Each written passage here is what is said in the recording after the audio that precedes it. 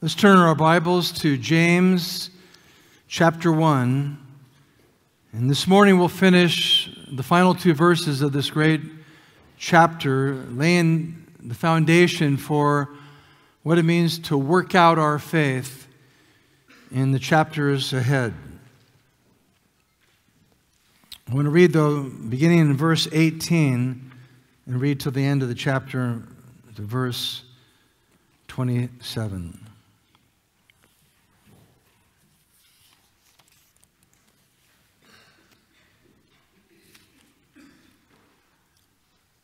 Let us begin. Of his own will, he brought us forth by the word of truth, that we should be a kind of first fruits of his creatures. Know this, my beloved brothers, let every person be quick to hear, slow to speak, slow to anger, for the anger of man does not produce the righteousness of God. Therefore, put away all filthiness and rampant wickedness, and receive with meekness the implanted word which is able to save your souls. But be doers of the word and not hearers only, deceiving yourselves. For if anyone is a hearer of the word and not a doer, he is like a man who looks intently at his natural face in a mirror. For he looks at himself and goes away and at once forgets what he was like. But the one who looks into the perfect law, the law of liberty, and perseveres, being no hearer who forgets, but a doer who acts, he will be blessed in his doing. If anyone thinks that he is religious and does not bridle his tongue, but deceives his heart, this person's religion is worthless. Religion that is pure and undefiled before God the Father is this to visit orphans and widows in their affliction and to keep oneself unstained from the world. Let's pray. Lord, thank you for your word, which is a light unto our path and a light to our souls. And we ask that you would please help us, and that you would guide and direct us, and move us, Lord, to receive your word implanted, which is able to save our souls. Thank you again for this privilege and opportunity to now lean into your word. In Jesus' name, amen.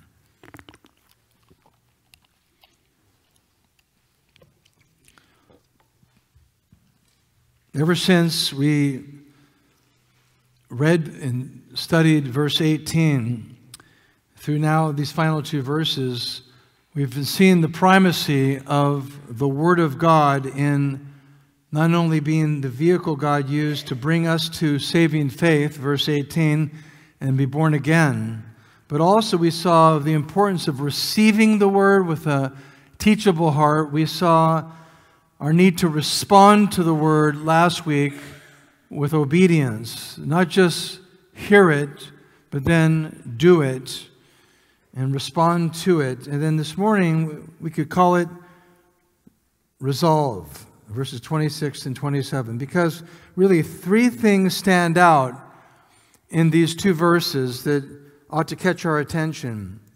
And that is, true religion is conveyed by our speech, is practiced with empathy, and then also is evidenced by a pure life or a holy life. Our speech gives way to our empathy, and then our purity or holiness of life.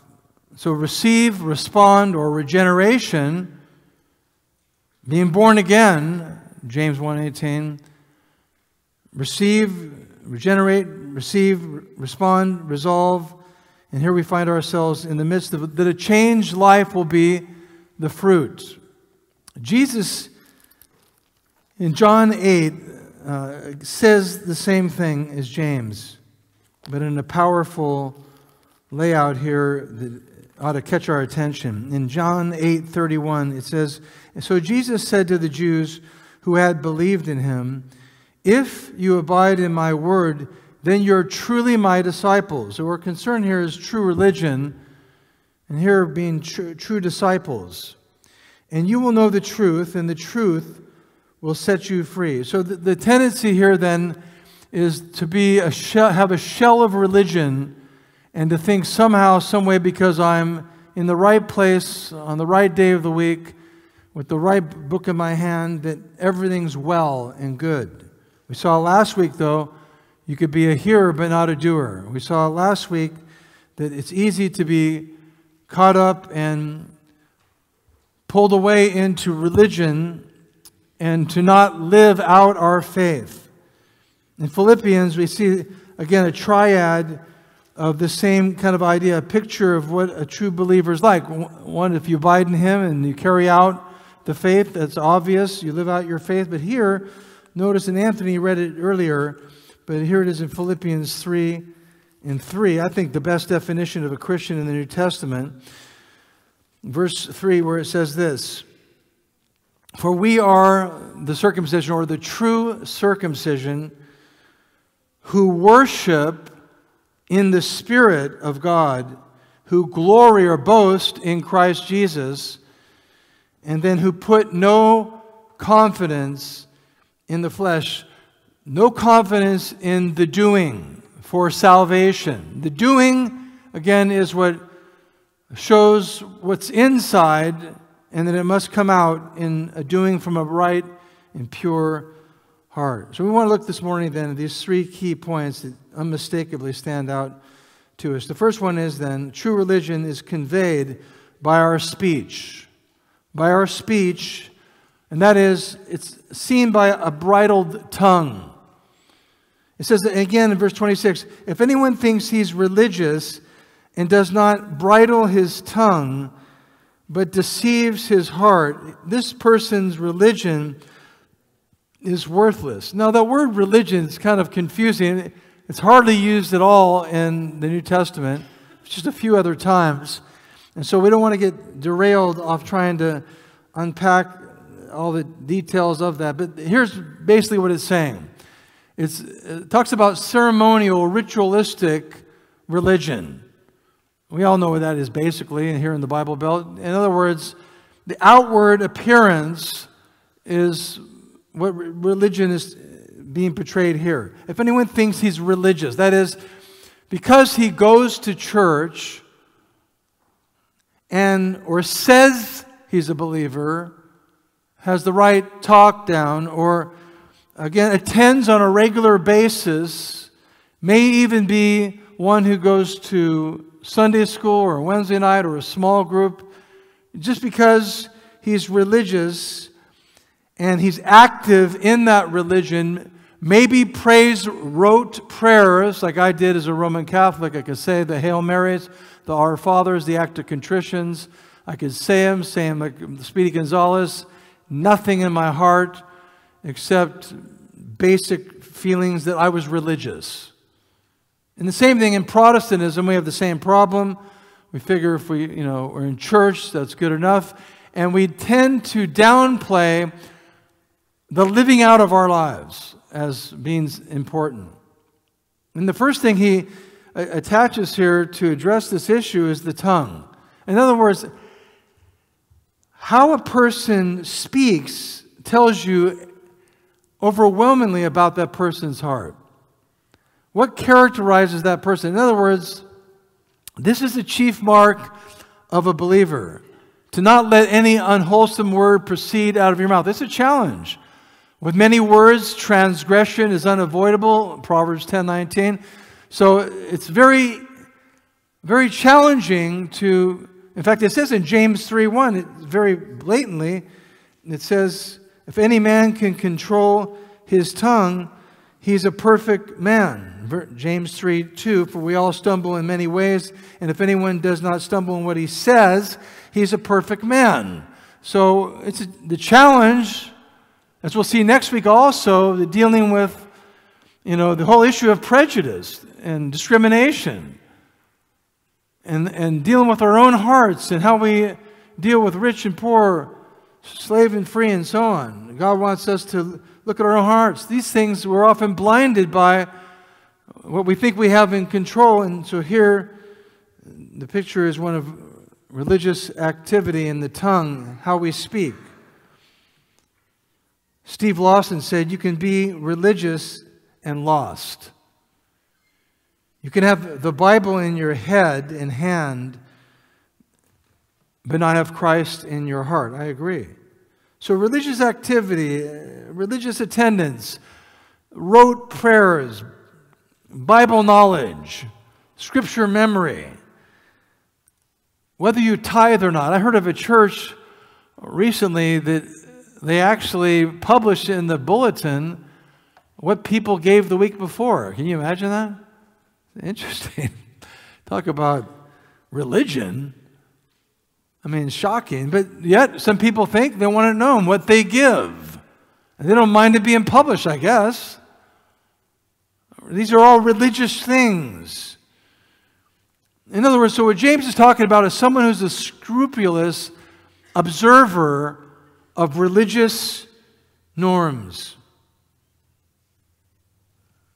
So he says, if anyone thinks he's religious, this same phraseology, if anyone thinks he is, he knows something, 1 Corinthians 8 2, let him know that he knows nothing. If anyone thinks, we always think more highly than we ought to about ourselves. So it's this is the foundation here then of our concern this morning. If anyone thinks he's religious and does not bridle his tongue. In other words, their life is, is a contradiction.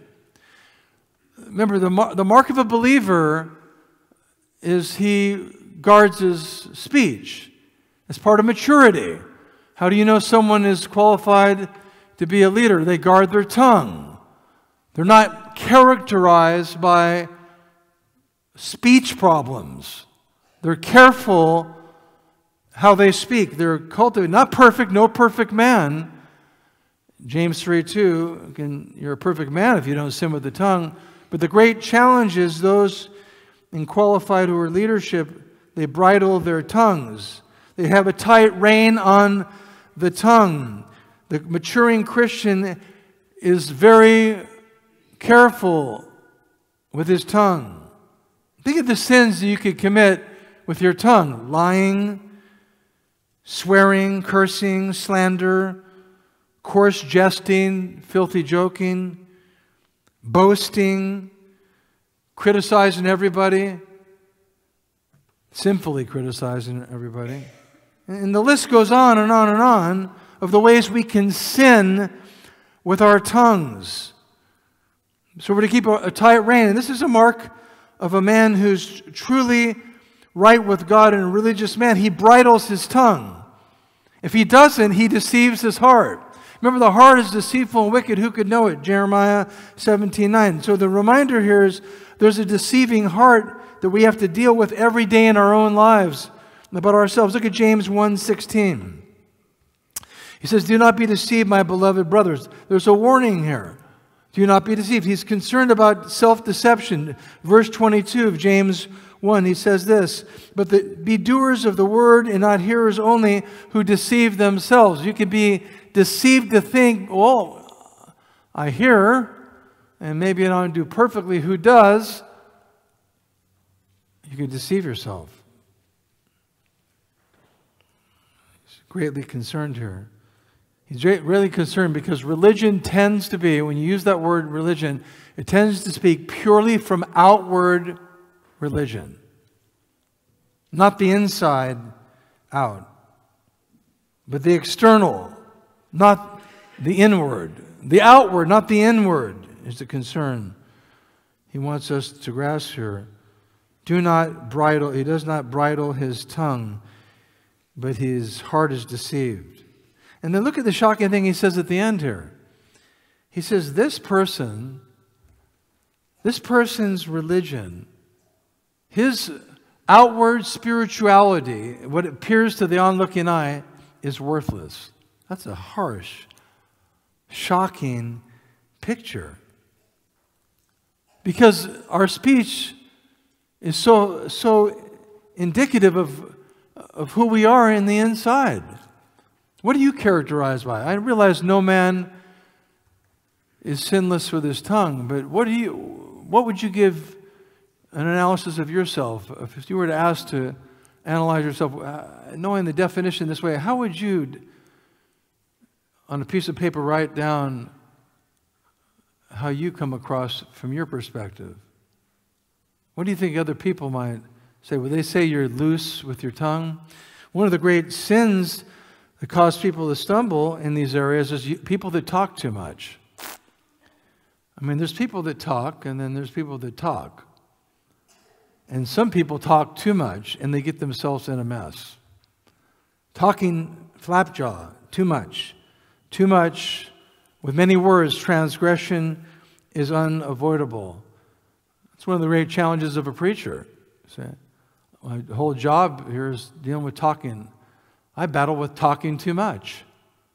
I'm trying to learn to be quiet. I remember one of the first things I admired about our church, one of the first things of many, uh, and I remember talking to someone in our church when I first became pastor, and they said they were working on being quiet. Talking less in their life. There's a lot of wisdom in that. I mean, look what it says in Psalm 119 11. You can see how, how it stands out here. Psalm 119, verse 11.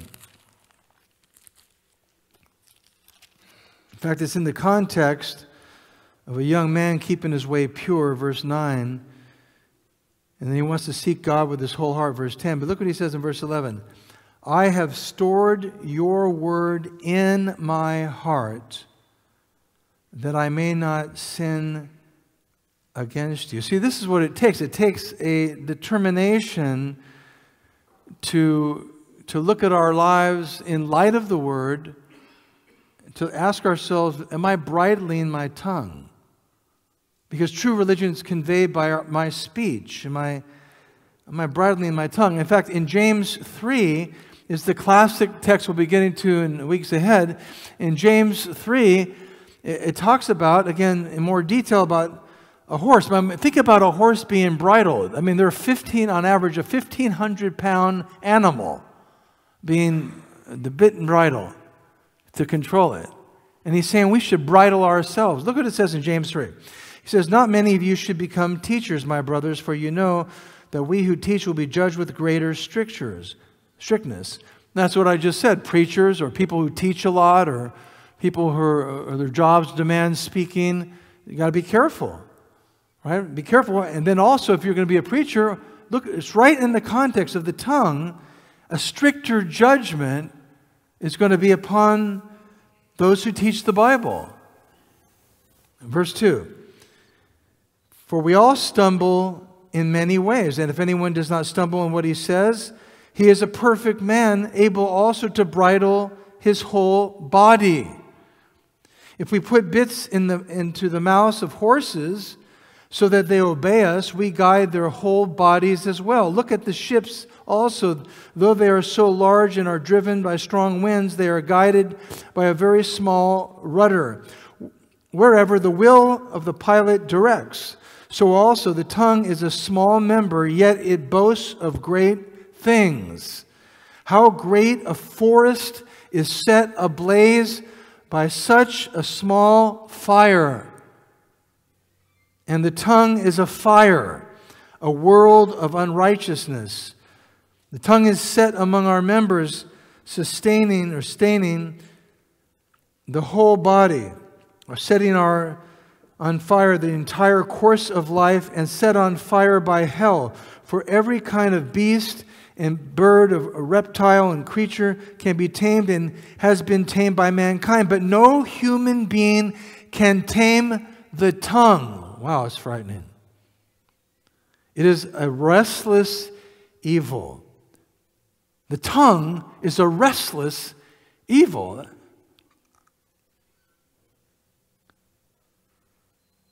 Full of deadly poison. With it we bless our Lord and Father, and with it we curse people who are made in the likeness of God. In other words, with it, we're religious. With it, we're hearers only. With it, external religion is exemplified. He says, We curse people who are made in the likeness of God. From the same mouth come blessing and cursing. My brothers, these things ought not to be so.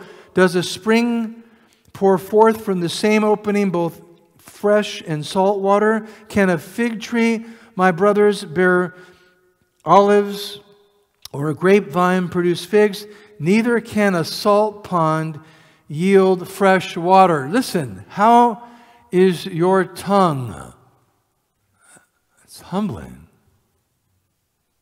Do we think before we speak? Are we seeking to not let any unwholesome word proceed out of our mouth? It should be one of our greatest commitments is whether we're speaking with grace, where we're speaking less words than we need to.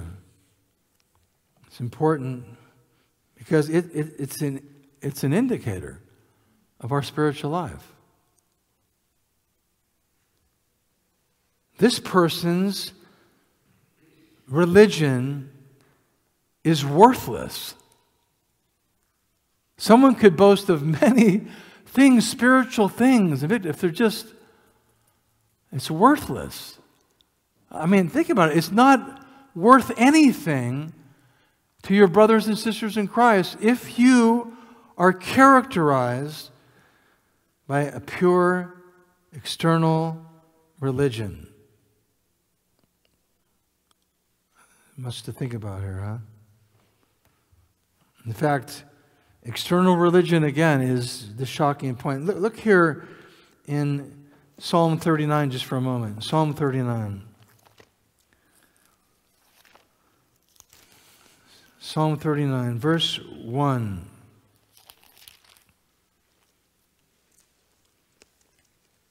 This is the kind of resolve we need. Psalm 1 I said, I will guard my ways that I may not sin with my tongue. Wow.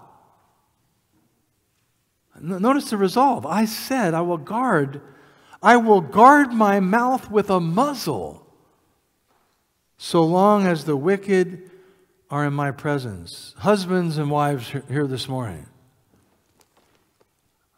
How often do you wound your spouse with your tongue? The way you speak, the tone, and the words you use.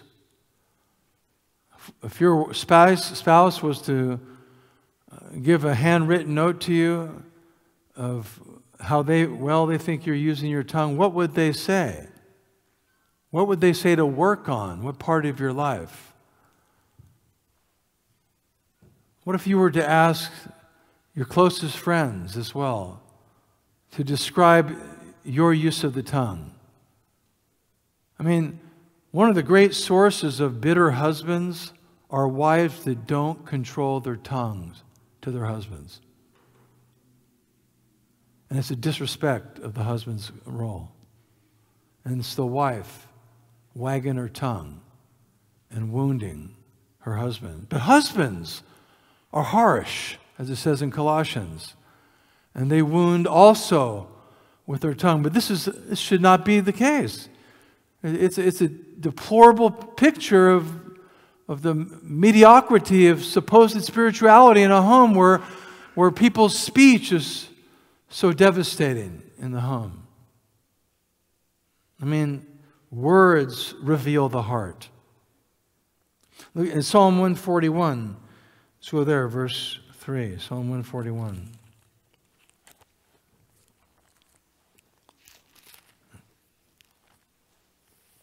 Psalm 141 3. Here's again this resolve Set a guard, O Lord, over my mouth. Keep watch over the door of my lips. I mean, that's the resolve we need. Psalm 39 1, Psalm 141 3. This is, this is the Christianity from the inside out. This is the Christianity that, that builds up a home, builds up the brethren. You can do that with your speech. Some of the people that encourage me most in this church and outside are people that are very careful to speak encouraging words. And I must say, they're like a balm to my soul. I'm not talking about someone trying to butter you up with all these overdone words, but I'm talking about someone who's speaking to build you up, specifically words of encouragement. They're like life to you. How is your speech with your children, men? Children, how is your speech toward your parents? Is it honoring before God? Do you profess to be a Christian? If so, can you pass the test of James of true religion? Does your speech quotient say, although not perfect, the predominant characteristic is one of a controlled tongue? If not, repentance is immediately in order. I think all of us can find areas to repent in about our speech.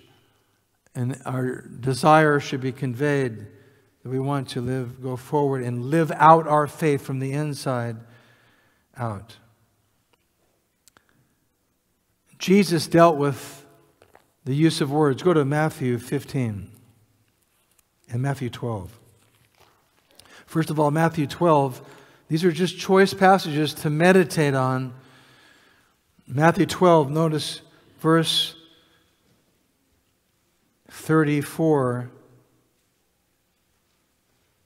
Jesus is speaking to those false teachers, and he says this Verse 34 You brood of vipers, how can you speak good when you are evil? In other words, your religion is outward alone. You're religious to the guy on the corner in the synagogue, but how can you speak good when you're evil? For out of the abundance of the heart, the mouth speaks. See, the mouth, our words, reveal our hearts. If you're a bitter person, an angry person, it comes out in slashing words. If you're an unhappy person, hiding sin in your life, living a double life, you're frustrated, you're on edge, defensive, you say things that are not good testimonies. Matthew 15, verses 17 and following. Do you not see that whatever goes into the mouth passes into the stomach and is expelled? Now he's beginning to, he's talking to these religious leaders because they're talking about what can defile you is don't eat pork, don't, don't touch this dead animal, all these external things. Don't eat this, don't drink this, don't. And the result is they think they're clean because it's on the outward appearance of men. But look what Jesus says. He says, But what comes out of the mouth proceeds from the heart, and this defiles a person. Verse 19. For out of the heart come evil thoughts, murder, adultery, sexual immorality, theft, false witness, slander. These are what defile a person. But to eat with unwashed hands, like the Pharisee said, does not defile anyone. Wearing the right clothes, eating the right food, keeping your hands clean, your nails manicured, all that outward appearance, if the mouth isn't controlled, is a, a joke. It's hypocrisy. Secondly, notice he says true religion is practice with empathy. And I had to do some work. I had, to work through these words here. I had uh, my secretary help me. She had to correct me a couple times. We're trying to work through these words and how people understand them in our own context. But let me just define these terms here. First of all, I use the word here empathy, and then there's sympathy and compassion. Sympathy means feeling another's pain in your heart. Empathy is entering into that pain by touching that life. Not just thinking about it, not even just praying about it, but actually touching their life. It may even involve what Doug Nichols would say is a clean touch. It's more than just feeling their plight. And compassion is very much like sympathy. And we have a sympathetic high priest who is tempted in all things as we are, yet without sin. Jesus, here is the example. His sympathy, his compassion is really our example. And he shows us by his life, without using the word, of touching people's lives in his healing ministry and feeding ministry, etc., as he ministered in this way with a personal touch. Remember, the first point covers more like practical or practicing, you know, out our religion by our speech, practically living out. Here, it's the personal issue, the personal touch. It could be translated uh, just in general saying caring for the needy. Let me read it, verse 27a. Religion that is pure and undefiled, in other words, sincere and genuine, before God the Father is this to visit orphans and widows in their affliction. Okay, so uh, religion is, you're not saved by visiting orphans and widows, but the mark of your salvation is whether it's orphans and widows, whether it's the poor, the sick, whether it's those in prison, as Jesus mentions in the latter part of Matthew, whether it's the depressed or discouraged, whatever it is, you're seeking to go beyond, hey, I'm praying for you. You're trying to engage people and touch their lives. You care about people, in other words. If your religion is not truly caring, do you have it? That's the shocking thing. I mean, think of the picture of the Good Samaritan. I mean, Jesus is just nailing the Pharisees in this point. He tells the story of a Levite, a priest, walking along the, the road and the highway, and then there's a man who had been beaten and stripped of his clothing and left bleeding and dying. And the religious man walks by him, may have walked over him. But then Jesus shows the Good Samaritan, and the, and then the humbling picture here is before us. We have to ask ourselves are we a, a Good Samaritan? Are we so hardened by charlatans and liars and people that say they have this need and that need, and you get tired of them and you get frustrated and cynical? Or do we have the heart in which we're willing to be trying to touch their life and trying to enter into their pain and, like God does all throughout Scripture, with orphans and widows especially? I mean, they're just a picture, an external picture of those who are truly in need and they can't pay you back. They can't give back what you are giving them. They, they're just in deep, great need. And when you think about a widow, particularly, especially a new widow, not that it ever stops, but the grief, the grief and the, the loneliness, and the stress and the sorrow and the pressure, and the tribulation. The word here actually can be translated, you know, in their affliction, in their distress, their tribulation. But we don't use that word as much anymore, obviously. But we get the point. They're in a difficult, challenging point that need to be touched by our lives rather than us say, I hope they feel better. The religious man goes by and doesn't ever ask or try to be involved in touch, it just simply goes on. And that's it's a humbling thing to ask ourselves am I, a, am I the Samaritan or am I the Levite? Or maybe I'm not quite the Levite, but maybe not quite the Samaritan either.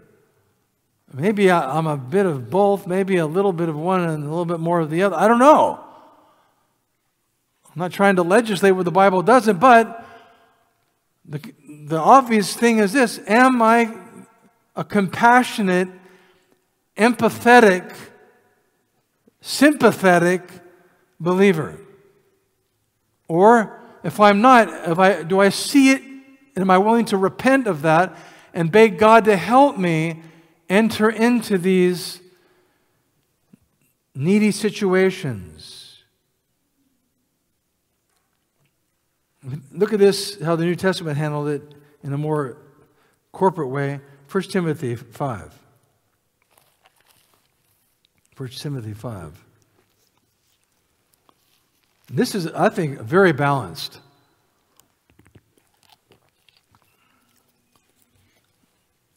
Verse 3, 1 Timothy 5. Honor widows who are truly widows.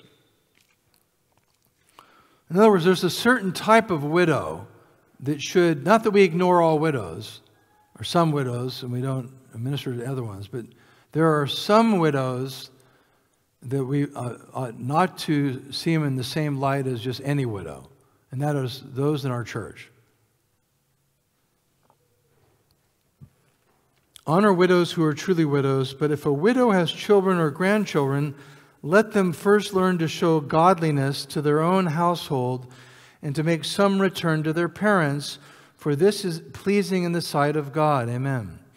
She who is truly a widow, left all alone, in other words, she has no family,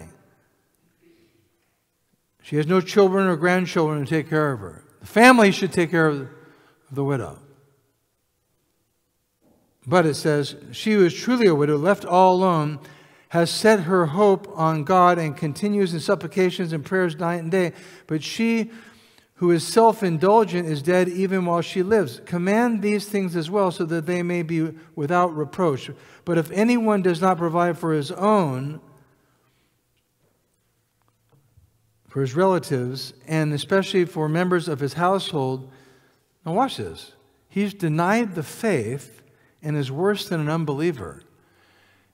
If you're not ministering that personal touch of caring to your own family, widow, your own widow family, look at it then, it goes on. It says, here's the details, verse 9. Then let a widow be enrolled if she's not less than 60 years of age. So if she has no family, then the church takes care of the widow. And she needs to be in, qualified. Look, make sure we understand she's a godly woman serving the Lord, and that she needs to be, be at least 60 years old, having been a wife of one husband, and having a reputation for good works. Notice here, if she has brought up children, has shown hospitality, has washed the feet of the saints, has cared for the afflicted, has devoted herself to every good work. In other words, she's a real Christian. You don't just put any widow on the church's roll, you put godly widows who fulfill all these areas and has devoted herself to every good work. Verse 11, but refused to enroll younger widows, for when their passions or lusts draw them away from Christ, they desire to marry and so incur the condemnation for having abandoned their former faith. Very interesting differential. But the point is, though, the widow herself was touching lives, was marked by that life, and therefore the church, puts her on the list and ministers and helps manage her estate, maybe, or her life, and touches her life and uses her in the way that she can minister, help her to minister in the body of Christ continually. It's powerful.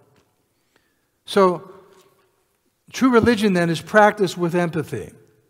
It's, he wants us to see that caring for the needy, not just bridling our speech, but caring for the needy, are, again, marks of a true Christian.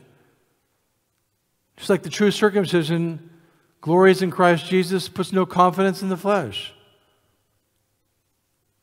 Again, just powerful reminders of what are the marks of a believer are. And, and it's, it's not just a buzzing around activity. You know, some people think the busier you are, the more godly you are. No, we're not saying that.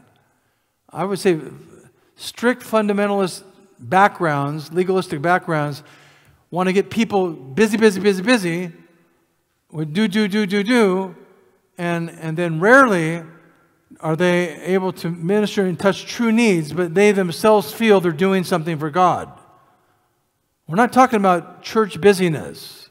We're talking about us responding to real needs and looking for ways to build up God's people and caring for those who are the needy. True religion is that way, and there's a calling to us there.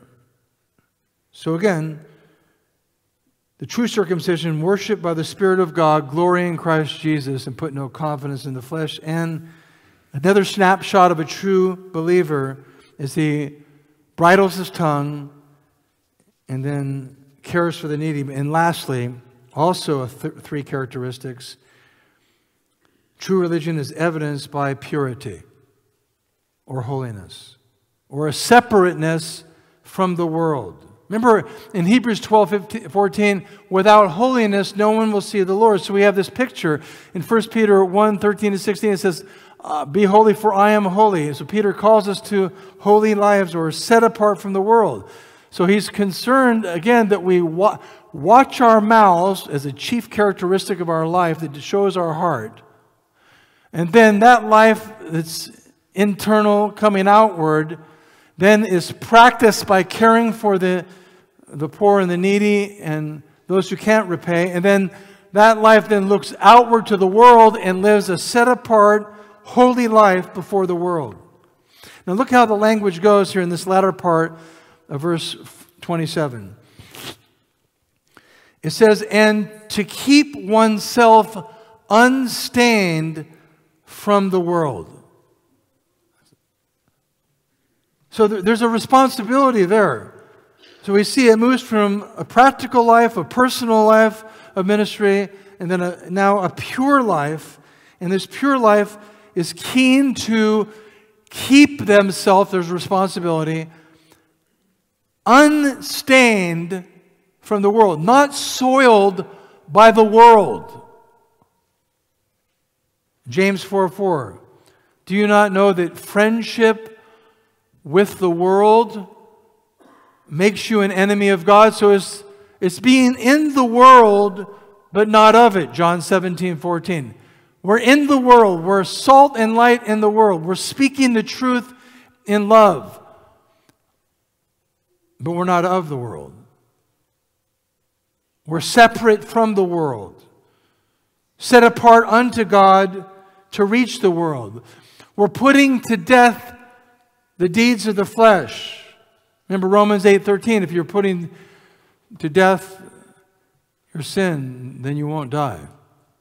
You won't die and go to hell that is. But it's the putting sin to death or sin will be killing you. So it's that responsibility. It's it's examining yourself to see if you be in the faith when he says to keep oneself, how do you keep yourself? You've got to examine yourself. You have to mortify sin in your life. You have to guard your heart. You can't go around flippantly living the Christian life. There must be a decided life. I mean, look at this decision in 1 Timothy 6.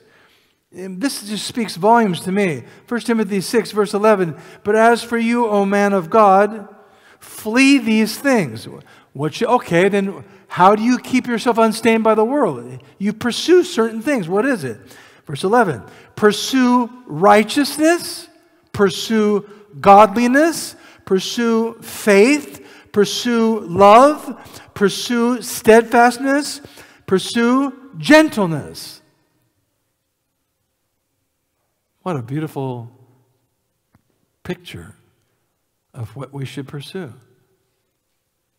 That's how you keep yourself unstained, undefiled, unpolluted, unspotted from the world.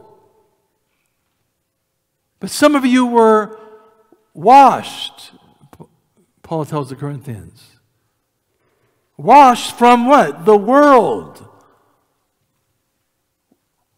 I mean, you should feel when you're in the world, you should not feel comfortable in the, the a, a world situation, whether it be hanging around only unbelievers. If you love being around only unbelievers, with all their passions and excitements and all that, and you don't long for God's people, I should tell you something. Doesn't mean you don't have compassion and empathy toward the lost and care and try to touch their lives? Of course you do. With the gospel and with your words and with your life, of course. But is there a desire to be with people pursuing holiness? Or does it just seem a bit overboard to you? If you got to whip yourself into shape to get you to come to yourself to come to church, what is that really telling you about your soul? You should be eager during the week as you pray, thinking, praying, looking, anticipating, coming to sing praise and receive the word and fellowship with God's people and build up God's people with the right words. Look at James says in, in James 4. James 4, we see again another picture of us and how we can keep ourselves unstained from the world. In James 4, verse 7 and following, he says, Submit yourself, therefore, to God. So, submission to God, submitting yourself to the Word of God, to the accountability of God's people. Maybe you're here and you've say you're a Christian, but you've never joined this church. Why? What's, what's the problem? Well, I'm not sure about why. Be accountable. Why aren't you? Why aren't you joining the church? What's holding you back? Submit yourselves, therefore, to God. Resist the devil. That's how you keep yourself unstained by the world. You resist the devil, and he'll flee from you. Draw near to God. You, you, have a, a worship, private worshiping life, and he will draw near to you. Cleanse your hands you sinners, and purify your hearts, you double minded. Be wretched and mourn and weep. Let your laughter be turned to mourning and your joy to gloom. Humble yourselves before the Lord, and He will exalt you. See, that's normal Christianity. When I read my Bible, I go, now that's Christianity. That's what I want to pursue. That, that doesn't make me go, oh, oh my goodness, uh, who can do that? No, I say, Lord, you've called us to this. Help us, Lord. Help, help us to be in the Word. Help us to, to choose right paths every day, young people, in your life. The friends you make, the places you go, the music you listen to, the people you're with. Are they, are they people panting after God?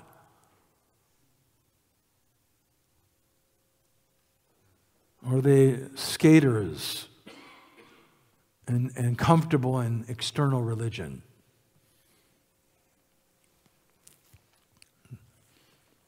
2 Timothy chapter 2, look what it says here. Another helpful tool. 2 Timothy 2, verse 20, speaking of the church. Now, in a great house, there are not only vessels of gold and silver, but also of wood and clay, some for honorable use, some for dishonorable use. Therefore, if anyone cleanses himself from what is dishonorable, he will be a vessel for honorable use, set apart as holy, useful to the master of the house, ready for every good work. So, what should you do then? Verse 22 Flee youthful lusts and pursue, here it is again. What should I pursue? Pursue righteousness, faith, love, and peace with, there's accountability, with those who call on the Lord from a pure heart. Blessed are the pure in heart, for they shall see God. Matthew 5 8. See how it all winds together. We should not want to be stained by the world. Be in the world, not of it. Not be stained by the world. Do not love the world, nor the things in it, 1 John 2.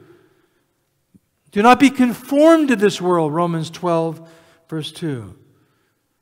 Be careful then what your eyes see, what you spend time with, what you read, what you allow yourself to think. Be careful. All those things will keep you stained by the world. And then don't be shocked when you do the unthinkable.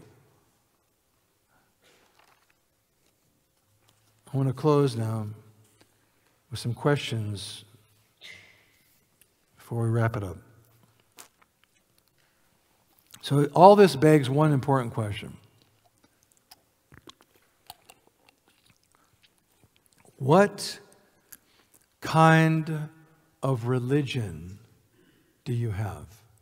Internal or external? Three questions, actually, four questions. Four key questions. The first one is this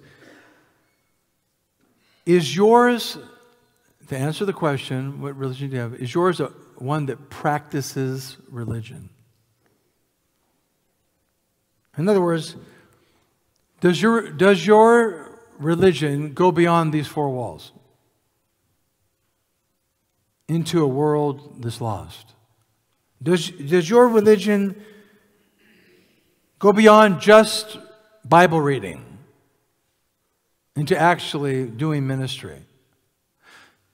Does your religion go beyond superficial hearing of the Bible?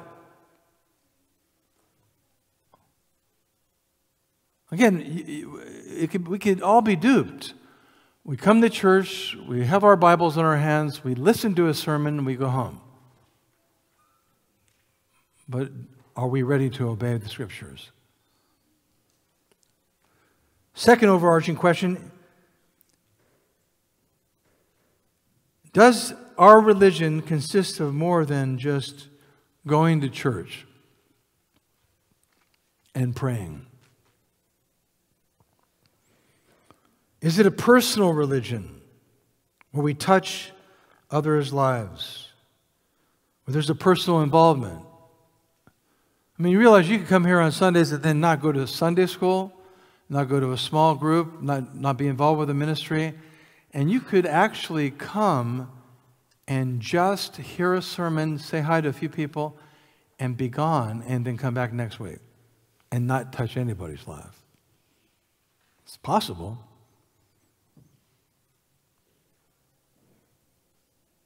Lastly, is it a pure religion? Does your religion involve cleansing of sin in your life because of your repentance to God? Does it involve putting away sin in your life? Seeing sin in your life and then because of your internal that comes forth the external religion, because you see it, then you deal with your speech problems. You listen to those who want to help you constructively, to, to be speaking in a way that James is referring to in the, in the way it should be. Are we teachable? Do we want to change? Are we willing to change? Does your religion, is it willing to change? Conform to the Bible? That's a powerful question. I would say I'm sinful enough to where, as much as I want to change, it won't be easy because of my remaining sin. But I want to, and I see it, and I hate what sins I see in my life that need to be addressed. So, a life of prayer, of repentance, looks to God and says, Yes, Lord, I will bridle my speech by your grace and your help. I will care for the needy. Help me to personally go beyond just saying things, but touching people's lives. Lord, help me. And then, Lord, help me pursue holiness, to be unstained from the world. I desire that, Lord. Help me. Let's pray.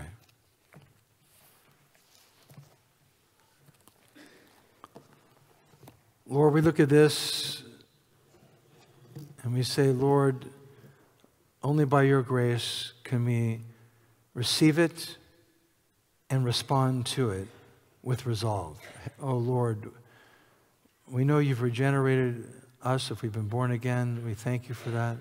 But Lord, there might be those, but I know there are some here who have not yet closed with you, who have not yet openly said, Lord, I see now my, my great need to turn from myself and put my trust in you alone. Lord, I thank you that you, when you take residence in your people, you work out their salvation out of them that we might live out our faith. Thank you, Lord, for not remaining idle in us, but working out of us, both to will and to work for your good pleasure. Thank you, Lord, for this time in your word now. Help us to conform to these truths. We desire it. Help us, Lord, to honor you. Use us in this week, this week to touch lives with the gospel, with our speech, with our touch, with our pursuit of uh, holiness. In your name we pray. Amen.